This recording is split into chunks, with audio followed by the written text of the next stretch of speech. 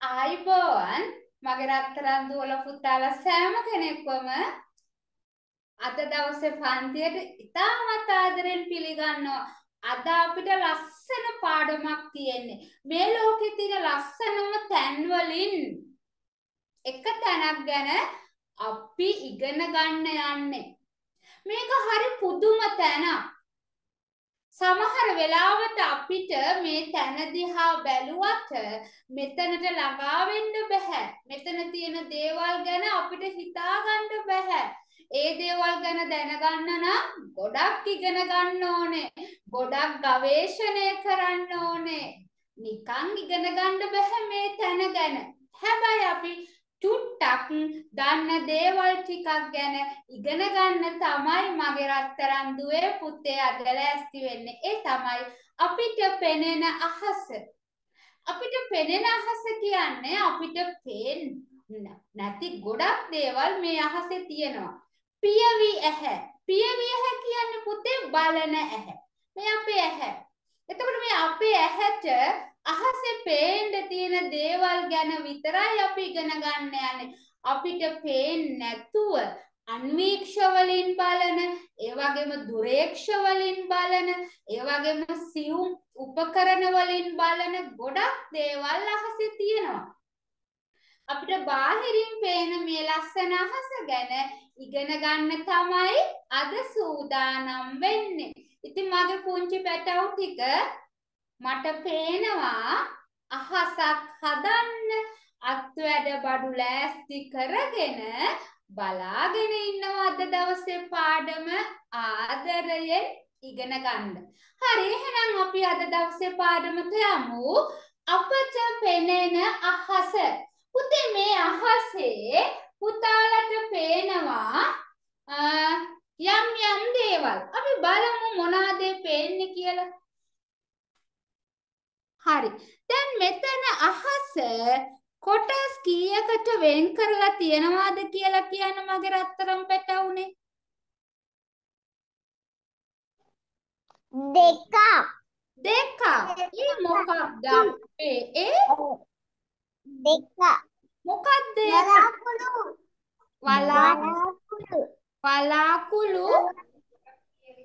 පුතාලට පේන දේවල් කියන්න මේ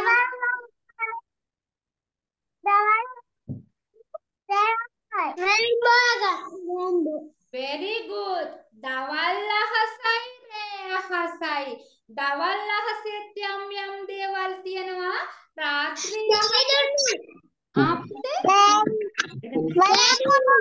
වලාකුළු තියෙනවා තේදුම් තියෙනවා. හඳ මාමා ඉන්නවා. ඔව් ඔව් තරුත් තියෙනවා. ගොඩක් දේවල් තියෙනවා නේද? හරි. ආ ඔව් ඔව් ඔව්. ලයිට් දාපු ගෙදරකුත් තියෙනවා රෑනේ හරි. මේ අහසේ අපිට පේන්න තියෙන්නේ දවල් අහසකුයි රෑ අහසකුයි. අපි දැන් මේවා වෙන වෙනම ඉගෙන ගන්න යනවා. ඔන්න මෙතන තියෙනවා ලියලා මොකක්ද? දවල් අහස. තේරුණාද? හැබැයි මේ අහසේ මොකවත්ම දැන් නැහැ. අහස පාළුයි. පාළුම පාළුයි දැන් ඔන්න. අහසේ පාළුව මකන්න අහසේ ඉන්න ලොකුම යාළුවා. ලොකුම යාළුවට ටීචර් එන්න කියනවා පුළුවන් නම් කියන්න කවුද ඒ අහසේ ඉන්න? ලොකුම යාළුවා දවල් වරුවේ ඉන්න ලොකුම යාළුවා කවුද කියලා මට කියන්න බලන්න. ඉර මාමා. ඉර මාමා. Very good. ඔන්න ටීචර් ඉර මාමට එන්න කියනවා. ආවා ඉර මාමා. හරිද? දැන් අහසේ උදේ දවල්ට හැන්දෑවට ලොකුවට පාට හතකින් යම් කිසි දෙයක් අහසේ පේන්න තියෙනවා. ඒක මොකද්ද දන්නවද?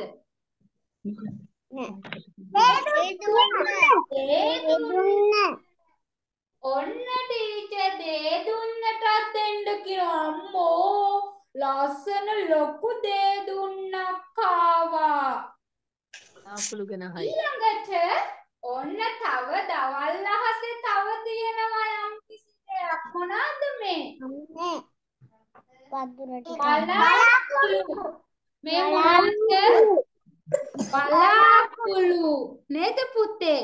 හරි. එහෙනම් දැන් මගේ පුතාලට දවල් අහසේ දකින්න තියෙන දේවල් කියන්න ටීචර්ට. තවල්ලාසේ දවල් අහසේ මොනවද දකින්න ඉර තියෙන්නේ? හරි අපිට දවල් අහසේ දකින්න තියෙනවා දේදුන් ඔව් අපිට දවල් අහසේ දකින්න තියෙනවා පුතේ දවල් අහසේ අපිට දකින්න තියෙනවා ඉර ඊළඟට දෙදුණු ඊළඟට වලාකුළු. right? එතකොට මේ ඉර ඒ වගේම දේදුණු වලාකුළු ගැන අපි වෙන වෙනම ඉගෙන ගන්න යන්න. එහෙනම් අමතක කරන්න එපා. දවල් අහසේ අපිට පේන්න තියෙන්නේ මොනවද? ඉර පේනවා වලාකුළු පේනවා. දේදුන්න පේනවා තරු දවල්ට අහසේ තියෙනවා හැබැයි අපිට පේන්නේ නෑ සූර්යාලෝකය වැඩි හින්දා හඳ දවල්ට අහසේ තියෙනවා අපිට පේන්නේ නෑ හිරු එළිය වැඩි හින්දා තේරුණාද ඒවා අපිට රැට තමයි පේන්නේ. හරි දැන් අපි බලමු ඊළඟට මොකක්ද අපිට තියෙන්නේ කියලා. තියෙනවා ඉර, හිරු. හරි මට කියන්න පුතේ මේ සූර්යයා නැත්තම් හිරු හැඩය කොයි වගේද? රවුම රවුම් හැඩයක් නේද? හැඩය රවුම්. එතකොට ස්වභාවයෙන් මෙයා කොයි වගේද? ඉර.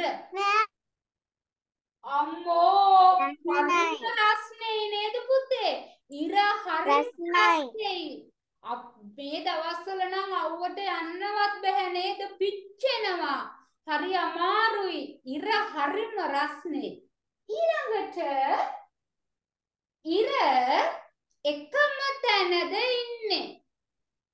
නෑ උදේ. බලනකොට එක තැනක දවල්ට තව තැනක හවසට එක තැනක ඉර කැරකෙනවා ඊට පස්සේ ආ පුතේ සමහර වෙලාවට අපිට අහසේ තියෙන මේ ඉර පේන්නේ නෑ.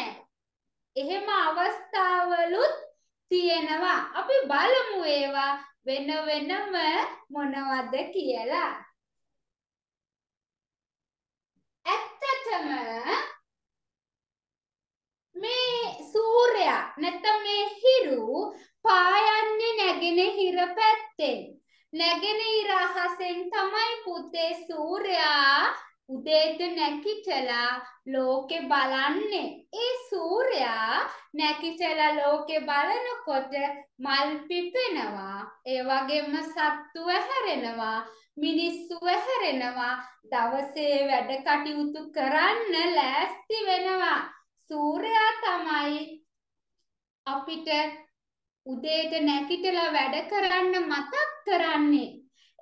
එතකොට මේ හිරු නැගෙනහිරෙන් පායලා බටහිරින් බැහැගෙන යනවා. පුතාලා මුහුදට ගියොත් එහෙම පුතාලට බලන්න පුළුවන් ඉර බැහැගෙන යන දර්ශනය. නේද පුතේ? සූර්යයා නැගෙනහිර දිශාවෙන් ලෝකෙ බලලා බටහිර දිශාවෙන් මුහුද පැත්තෙන් බැහැගෙන බැහැගෙන යනවා. තේරුණා නේද එහෙනම් හොඳට මතක තියාගන්න මගේ රත්තරන් දරුවනේ හිරු නැගෙනහිර දිශාවෙන් ඇවිල්ලා බටහිර දිශාවෙන් බැහැලා යනවා ඒ වගේම තමයි දවල් 12 වෙනකොට ඉර තියෙන්නේ මුදුනේ. පුතාලට මතක ඇති. දවල්ට නේද පුතේ එළියට ගියාම අපේ සෙවණැල්ල අපිට පෑගෙනවා. ඒ සෙවණැල්ල පෑගෙන්නේ ඉර මුදුන් වෙලා තියෙන හින්දා, ඉර උඩම තියෙන හින්දා. ඊළඟට වැසි දවස්වල පුතේ ඉර පේන්නේ නෑ. ඇයි පේන්නේ නැත්තේ? මේ අඳුරු වලාකුළු ඇවිල්ලා සූර්යාව වහගන්නවා. හිරු කුමාරයව වහගන්නවා. හරියට රෙද්දක් පුරව ගත්තහම අපිව කාටවත් පේන්නේ නැහනේ. අපි හැංගිලා වගේනේ. ඒ වගේ අඳුරු වලාකුළු හිරු කුමාරයව වහගන්න හින්දා වැසි දවස්වල අපිට පේන්නේ ඉර මාමව. මෙන්න වලාකුළු තියෙනවා. වලාකුළු වල හැඩය කොයි වගේද? වලාකුළු වල හැඩය කොයි වගේද? වලාකුළු වලට හැඩයක් නෑ පුතේ. වලාකුළු වලට හැඩයක් නැහැ. ඒ වගේම තමයි වලාකුළු වල ස්වභාවය වලාකුළු කොයි වගේද? වලාකුළු පුළුන් වගේ. නේද පුතේ? අහසේ තියෙන වලාකුළු පුළුන් වගේ. ඊළඟට එකම තැන ඉන්නවද මේ වලාකුළු? අම්මෝ නෑ වලාකුළුත් හරි දඟයි. හැම තැනම ඇවිදින්න යනවා. මොකද වලාකුළුත් ගහගෙන යනවා. ඊළඟට ඕ වලාකුළුත් පේන්නේ නැති අවස්ථාවන් තියෙනවා නේද? වලාකුළු සමහර වෙලාවට පේන්නේ නැහැ. ඉරේලිය තදින් වැඩි වෙච්චහම සමහර වෙලාවට වලාකුළු පේන්නේ නැති වෙලාවල් තියෙනවා නේද? රැට රැට සමහර වල වෙලාවට වලාකුළු හසි පේන්නේ නැහැ. කළුවරම කළුවරයි නේද? සමහර වෙලාවන් වලදී වලාකුළුත් අපිට පේන්නේ නැති අවස්ථාවන් තියෙනවා. ඊළඟට මේ වලාකුළු හොඳින් අවුව තියෙන දවස්වලට අහස හොඳට බලන්න වලාකුළු සුදු පාටයි. හරිද? වලාකුළු සුදු පාටයි. ඊට පස්සේ වැස්ස තියෙන දවස්වලට වැහි දවස්වලට වලාකුළු කළු පාටයි. එහෙම නැත්නම් අලු පාටයි. ඒකනේ පුතේ අහස කළු වෙන්නේ. එයාලා ගිහිල්ලා ඉරමාමව වහගන්නේ. එතකොට තමයි අපිට අන්ධකාරය දෙන්නේ. ඉතින් වැහි දවස්වලට වලාකුළු අලු පාටයි නැත්නම් කළු පාටයි. ඊළඟට මොනාර කලකට බහලා ඇන්දෑවට ඉරමාම බැහැගෙන යනකොට වලාකුළු රන්වන් පාටයි. හරිම ලස්සනයි ඒ වෙලාවට. තේරුණා නේද? එතකොට මේ වලාකුළු වල පාට දවසින් දවස වෙනස් වෙනවා. මොහොතින් මොහොත වෙනස් වෙනවා. ඒ වගේම තමයි තවත් වෙලාවට ඔය ගංගවල් පැත්තට මුහුදවල් පැත්තට ගියාම වලාකුළු නිල් පාටයි. නේද? වලාකුළු වල පාටත් වෙනස් වෙලා පේනවා. ඊළඟට සුළං තියෙන අවස්ථාවල වලාකුළු පාවෙනවා සුළඟට වලාකුළු වල ගමන ඉන්න තැන වෙනස් කරනවා. එහෙනම් මගේ පුතාලට මතක තියෙන්න ඕනේ වලාකුළුත් ගමන් කරනවා. දේ දුන්න. දේ දේ දුන්න හරිම ලස්සනයි නේද පුතේ? අහසේ තියෙන විශ්මිත නිර්මාණයක් තමයි දේ දුන්න කියන්නේ. දේ දුන්න. දේ දුන්නේ හැඩය කොයි වගේද? දේ දුන්නේ හැඩය දුන්නක හැඩයක් ගන්න දුන්න වගේ මෙන්න මෙහෙම තියෙන්නේ දේ දුන්නේ හැඩය. ඊළඟට ස්වභාවය කොයි වගේද දේ දුන්න? දේ දුන්නේ පාට හතක් තියෙනවා දේ දුන්නේ පාට හතක් තියෙනවා. මො ආයේ වගේම තමයි දේ දුන්නත් එක තැනක ඉන්නේ නෑ. දේ දුන්නත් එක තැනක ඉන්නේ නෑ. දේ දුන්න ඉරමාමට විරුද්ධව ඉන්නේ. ඒ කියන්නේ ඉරමාම නැගෙනහිර නම් ඉන්නේ. දේ දුන්න ඉන්නේ බටහිර. ඒ කියන්නේ උදේ වරුවට පුතාලට දේ දුන්න පේන්නේ බටහිර අහසේ. හවස් වරුවට දේ දුන්න පේන්නේ නැගෙනහිර අහසේ. මේක මතක තියාගන්න ඕනේ දේ දුන්න පායන්නේ සූර්යාට විරුද්ධ පැත්තේ. ඊළඟට දේ දුන්නත් පේන්නේ නැති අවස්ථා තියෙනවා. අපිට හැම වෙලේම දේ දුන්න පේන්නේ නැහැනේ. දේ දුන්න පේන වෙලාවන් තියෙනවා. ඒවා ලොකු වෙනකොට ඉගෙන ගන්න පුළුවන්. දැනට ඒ ටික පුතාට අවශ්‍ය නැහැ. තේරුණාද? දේ දුන්න කොහොමද අපි නිර්මාණය කරන්නේ? මේ වගේ දේවල් අපිට තව ලොකු වෙනකොට ඉගෙන ගන්න පුළුවන්. ආ දැන් අපි දේ දුන්නේ පාට හඳුන ගන්න යනවා. හරිද? හැමෝම බලා ගන්න හොඳට. දේ දුන්නේ පාට හඳුන ගන්න විදිහ. පළවෙනි පාට තමයි රතු. කියන්න හැමෝම රතු. රතු. Ratu. රතු. Ratu. ඊළඟ පාට තමයි තැඹිලි. Tabili. තැඹිලි. ඊළඟ පාට තමයි කහ. Kaha. කහ. ඊළඟ පාට තමයි කොළ. Kola. ඊළඟ පාට තමයි නිල්. Nil. Nil. ඊළඟ පාට තමයි ඉන්දිගෝ. ඉන්දිගෝ.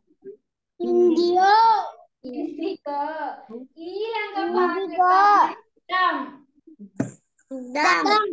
හරි දැන් දා. මේ දුන්නේ පාට හතක් තියෙනවා. මේ පාට හත මතක තියාගන්න අපිට කවියක් දීලා තියෙනවා. තේරුණාද? මේ පාට හත මතක තියාගන්න අපිට කවියක් දීලා තියෙනවා. ඒ මොකද්ද දන්නවද? රන් තැඹිලි කඩන කොල්ලා නිල් ඉබ්බෙක් දකි. රන් තැඹිලි කඩන කොල්ලා නිල් ඉබ්බෙක් දකි. රන් වලින් කියන්නේ රතු. තැඹිලි වලින් තැඹිලි. කඩන කියන්නේ කහ. කොල්ල කියන්නේ කොළ. නිල් කියන්නේ නිල්. ඉබ්බෙක් කියන්නේ ඉන්ඩිගෝ. දකි කියන්නේ දම්. එහෙනම් රන් තැඹිලි කඩන කොල්ලා නිල් ඉබ්බෙක් දකි කියන්නේ දේ දුන්නේ පාට හත මතක තියාගන්න. හරිද? රයිට්. ඔන්න කළුවරම කළුවරයි.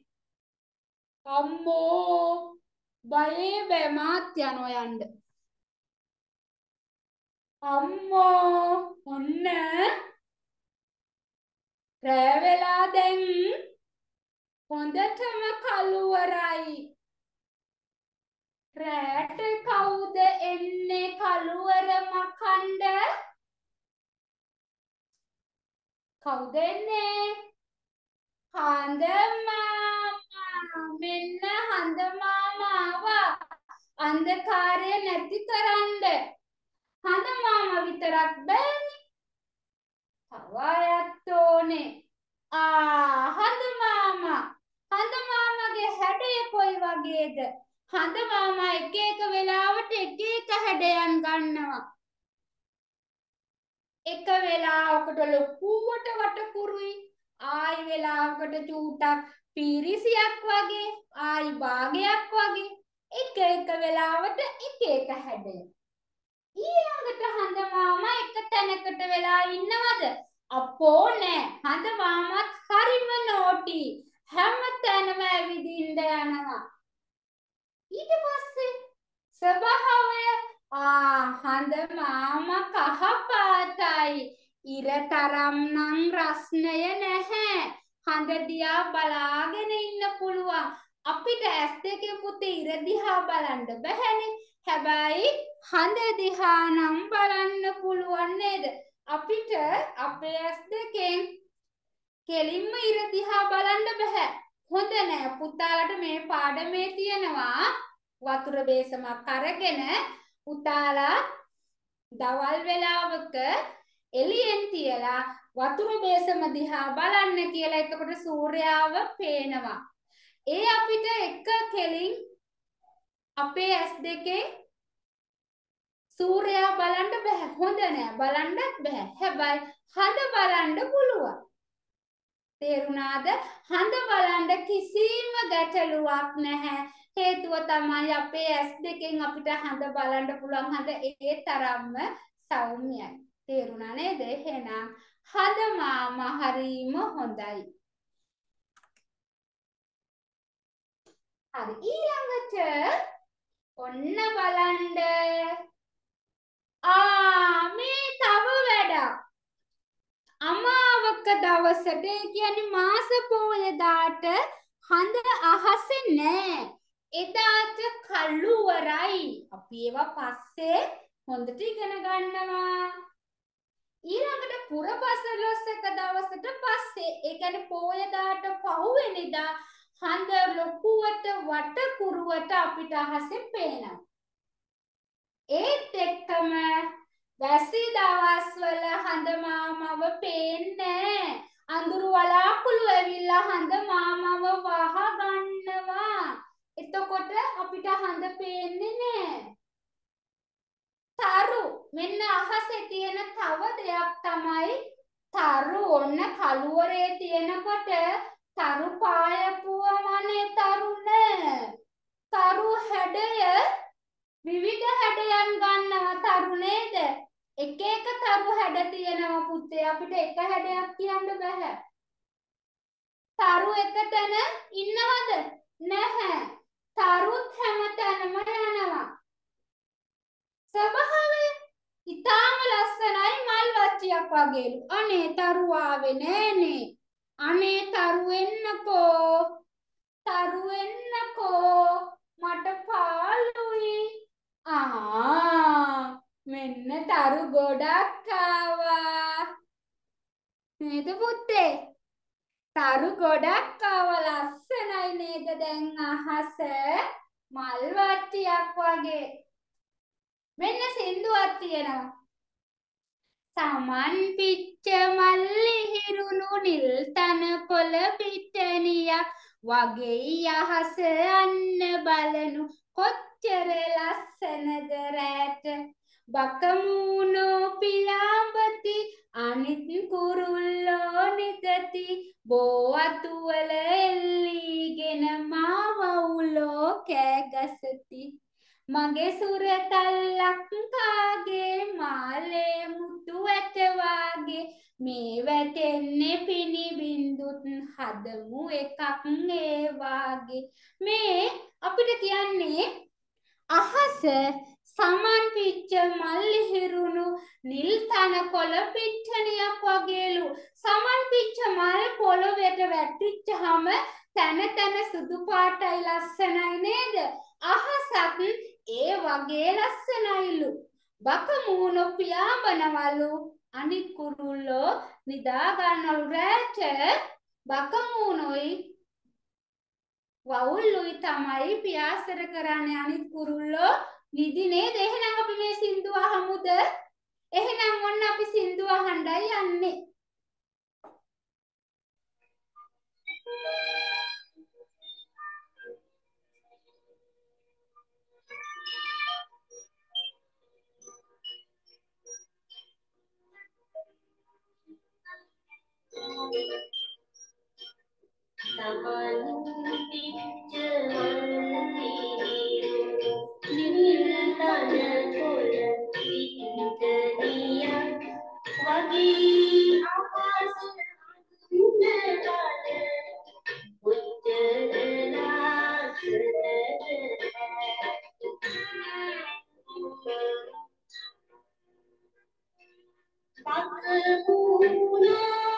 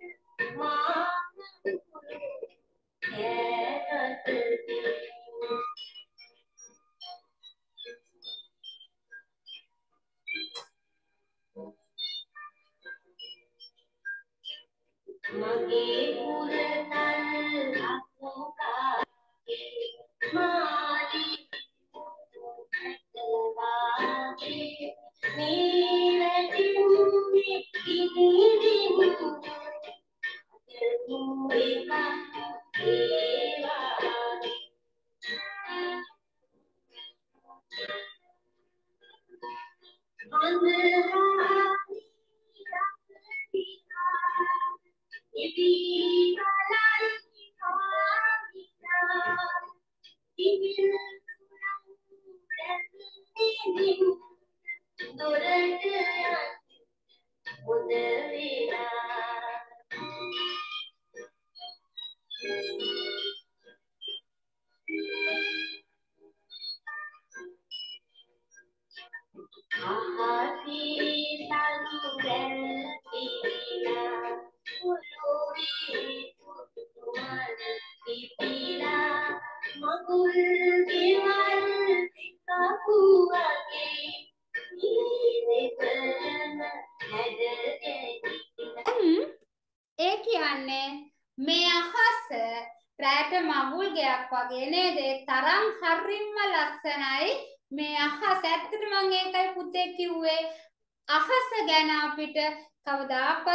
කවදාකවත් ඉගෙනගෙන ඉවර කරන්න බෑ. ඒ වගේම තමයි මුහුද. මුහුදු පතුලත් හරිම ලස්සන තැනක් අපේ පියවිය හැට පේන්නේ. අපේ ඇහැට පේන හැම තැනක්ම මිනිස්සු විනාශ කරලා තියෙන්නේ. තේරුණාද? මිනිස්සුන්ට යන්න පුළුවන් තැන් තියෙනවා නම් ඒ තැන් වලට ගිහිල්ලා මිනිස්සු ලස්සන තැන් විනාශ කරලා තියෙන්නේ මහ පොළවේ තියෙන. හැබැයි මිනිස්සුන්ට මුහුද යටට යන්න බෑ. අහසට යන්න බෑ. තාම ඒවා සුන්දරව ලස්සනව තියෙනවා. හරි. ඔන්න අහසේ පා කරලා අරින්න පුළුවන් දේවල් මොනවද?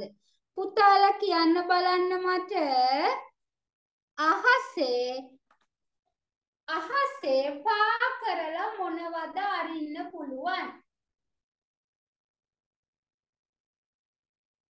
සරුංගලය ඔන්න එකතු බැලුමක් ඔන්න එහෙනම් සරුංගල බැලුමක් ඔන්න සරුංගල ආවා.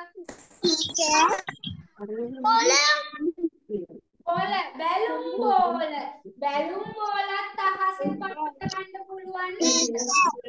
පැරෂූට් ටීචර් පැරෂුට් පරිප්පු. තව ශාක පත්‍ර. ශාක පත්‍ර පා කරන්න පුළුවන්.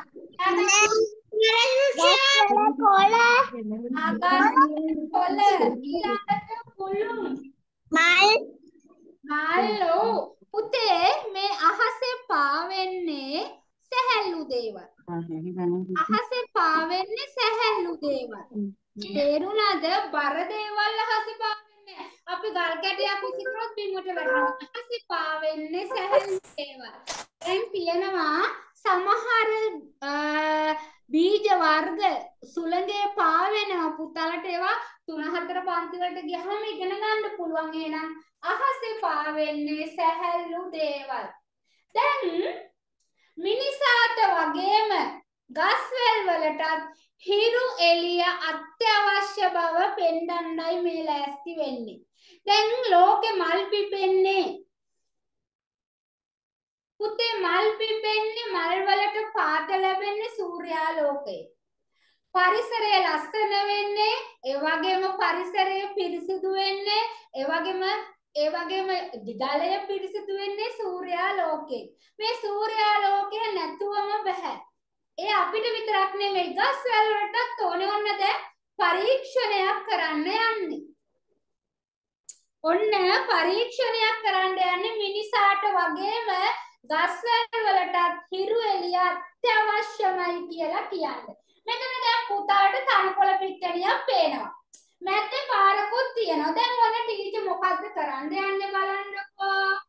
මොකද්ද කරන්න යන්නේ මේ වගේ තදින් සූර්යාලෝකය වැටෙන තැනකට තනකොළ කිහිපයක් පොල් කටුවකින් දවස් කීපයක් වහන්න යනවා. ඔන්න පොල් කට්ට එනවා. රුරුන් රුරුන් රුරුන් ඔන්න පොල් කට්ට ආවා. දැන් මේ පොල් කට්ට ආපු තැන ටීචර් කොටු කරලා තියෙනවා. නැත්තම් කවුරු හරි ඇවිල්ලා පාගල විසි කරන්න පුළුවන් නේ දන්නේ නැතුව සතෙක් හරි. දැන් මේ විදිහට දවස් 3-4ක් පොල් කට්ට මෙතනම තියෙනවා. තේරුණාද? හොඳට බලාගෙන ඉන්න රත්තරන් පැටවුනේ පොල් කටුව හෙල්ලෙන්නේ නැතුව මෙතනම තියෙනවා. ඔන්න දින කිහිපයකින් පස්සේ මේ පොල් කට්ට මෙතනින් අයින් කරනවා. මොකද වෙලා තියෙන්නේ කියලා බලමු පොල් කට්ට අයින් කරපු වම. ඔන්න බලන්න පොල් කට්ට අයින් කරපුවම මොකද වෙන්නේ කියලා. ඔන්න පොල් කට්ට ගියා. මොකද වෙලා තියෙන්නේ? කොළ පාටට තිබ්බ තන කොළ ටික කහ පාට වෙලා. What happened? අයියෝ මොකද වුනේ? කොළ පාට තන කොළ ටික කහ පාට වෙලා. කාටද කියන්න පුළුවන් ඇයි මේ කොළ පාට තන කොළ ටික කහ පාට උනේ කියලා? කාටද කියන්න පුළුවන්? හිරු එළිය නැති නිසා. very good චනුමි හෙරු එළිය නැති නිසා.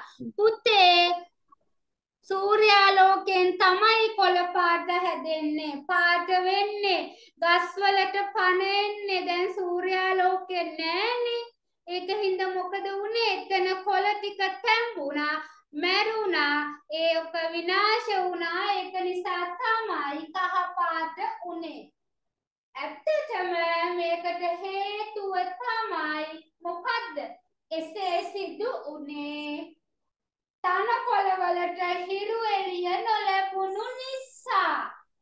එහෙමනම් අපිට අත්‍යවශ්‍යම දෙයක් තමයි හිරු එළිය. හරි. දැන් අත්වැඩක් කරන්න බඩු දෙනවානේ. දැන් ගන්නකෝ අත්වැඩේ කරන්නයි අපි ලෑස්ති වෙන්නේ. රයිට් ඔන්න සතුටු හිතෙන වෙලාව